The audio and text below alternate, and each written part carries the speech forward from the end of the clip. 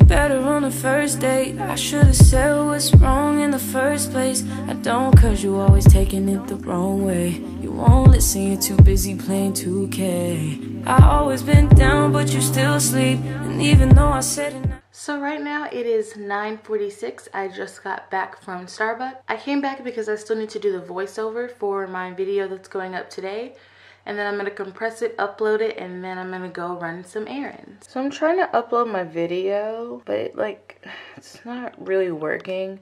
So I think I'm gonna have to redo it. But it is almost noon here, which means the Apple event is going to start. Um, I usually watch it every year for the past, I think, three or four years. So I'm super excited to see what they're gonna do next and what new iPhone is going to come out.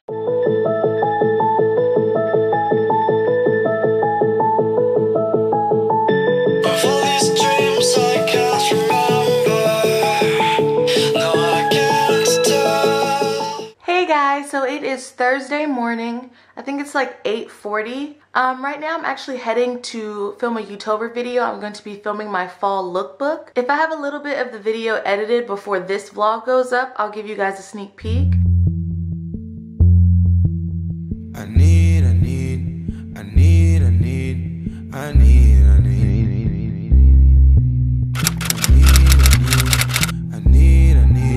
Um, we're actually on our way out to the concert, so I want you to go ahead and show you guys my outfit. So this is the shirt that I picked up from Maurices. It has this like cool like neck thing right here.